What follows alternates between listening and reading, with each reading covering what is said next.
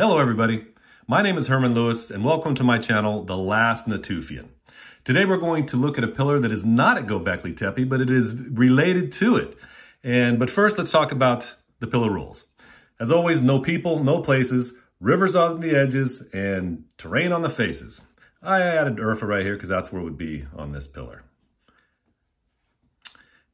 Now I've read all the pillars at Göbekli Tepe. And I even joked about how I, I, need more pillars because I've read them all. Well, one did show up recently, and I did uh, um, on Twitter. I went and put it out there, but here on YouTube I haven't.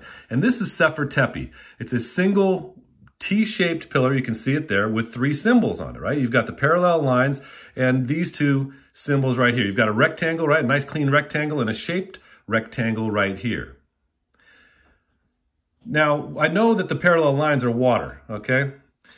And why? Because we used it on C27, right? Here's the Nile. Here's the, the first Sphinx. Here's Fayum, the, the Oasis of Fayum. I did a video on that, but you see the parallel lines behind it, just like the parallel lines here. That means water, okay? And that's on other pillars too, on the edges. Like here's the Euphrates. Here's the Euphrates and all of its components on D33. This is just a beautiful pillar.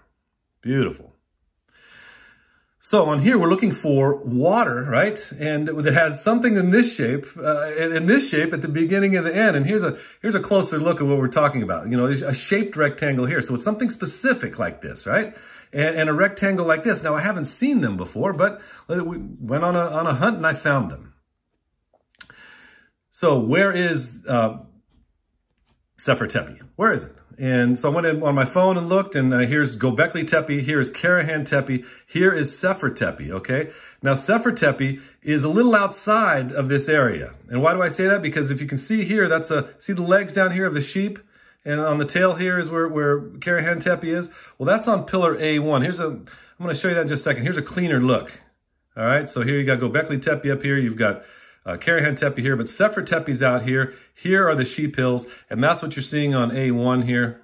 All right, we've shown this before. Here's the uh, Harran, here the sheep, here's the sheep, right, the sheep hills, and you see it right here. I've boxed it out for you. But the point here is that it's not on this pillar, but it's right in here. If it was on this pillar, it would be down here, right, in, in this area right here, maybe those chip marks, but they don't give up their places that easily. Now, there is another pillar in this area. And this is D30, an amazing pillar. So here you've got Mount Karaca, right? And on the right, it's saying that the, the right water's coming off of it right here. That big water here turns into three, and you've got this little animal here. Well, I've drawn this before, and here is Mount Karaca. Here is that right stream turning into the other streams, and here is the mountain, right, that, that touches the, the river. But what about all this water in here? You see that? So that pillar was only talking about, there's nothing on that pillar about this area. So I've named them here. Here's Karakadog. Here are the names of the creeks, right? And here are the names of the uh, uh, uh, of the creeks down here. All right, just beautiful. But if you'll notice, Sefer Tepe would be right in here, but it's not. It's not. Now there's another pillar that deals with this area, and that is the vulture stone. Up on the right here, there's Mount Karaca. I've done this before. Here's Mount Karaca. Here is that area. Here's that watershed right here going through, uh, uh it's actually the same area as D30, but down into the Euphrates River, okay? It's beautiful, all right? And I've drawn this out before as well. So here's Mount Karaca, right? Here's that watershed coming into here, right? Here's the fish. Here's uh, the square or rectangle tail of the fish of Harran. And of course, the bird, the outline of that is, is is, is the Euphrates River, and of course the beautiful duck here, right? And that, that you see right here. See the duck behind the legs of the Euphrates. Just, just, just beautiful. Just gorgeous and accurate, right? So the arrow I put in here, that's where Sefer Tepe is. So it's right in the middle of this area here, right? So what are they talking about? What, what's going on? What is this? What is this place here? Well, let's go take a look at a map. So I brought up a map of where Sefer Tepe is. Okay, and here it is. Let me make this a little smaller here. There you go. Okay, here's Sefer Tepe. In the middle of some farmer fields, I'll zoom out, zoom out, zoom out, zoom out, okay? And as I've shown you before, here's Harran, that's where it is, okay? Now, they say there's water, so let's go to the terrain mode. And zoom back in. What's the nearest water to Sefer? Well, it's right here. See this blue line right here? If you can see it, it's right here. Let me zoom in right here. I'm going to follow it with my pen here. All right, it's right up here, keeps going, keeps going. So I'm just going one way or the other. It's the nearest water.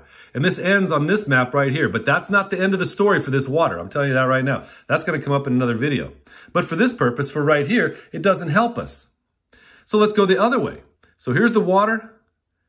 It's not too far from Gobekli Tepe. I mean, excuse me, from uh, uh, Sefer Tepe.